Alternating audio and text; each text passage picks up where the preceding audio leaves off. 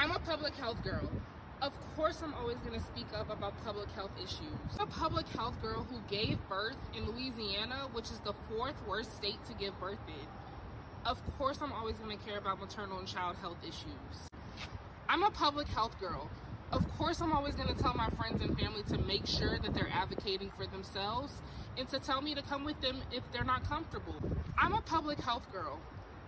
Of course, I'm going to tell you to do your research before you make a healthcare decision. I'm a public health girl.